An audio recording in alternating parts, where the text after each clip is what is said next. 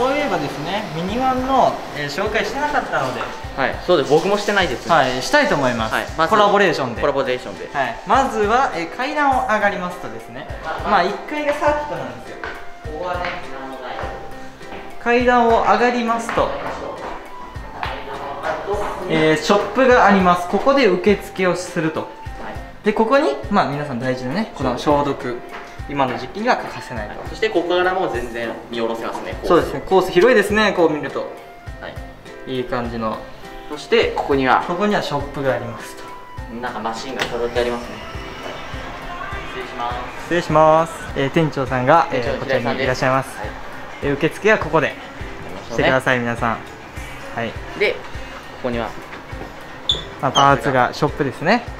でこう回っていくとあ伊勢が誘導してくれるのかい？伊勢誘導してくれるのかい？はい。はい。行きましょうここにはキットキットやボデディが。ドリフトこれドリフト？これドリフトのボディ勢ぞろいということで。来切りありますね。来切りはい。来切りありますね。ほんでここに599の。このグリップ剤グリップ剤シリーズがめちゃめちゃ大量に置いてますね、赤を買うことはほぼほぼないんですが置いております。ぱいででここはまあ、すうん、スプレー系とかファスカラーも売ってますね。あとパーツクリーナーもタミヤのありますね。スパーキャットかな並んでます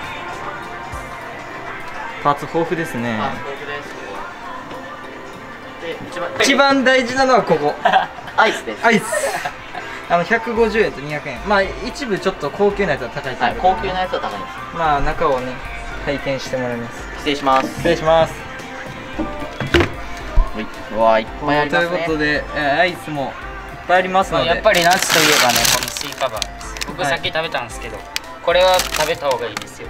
まあ美味しいですかいつも？めっちゃうまいですよ。マジで。夏にはねクールダウンが大事なので、はい。これ本当助かりますよね。はい。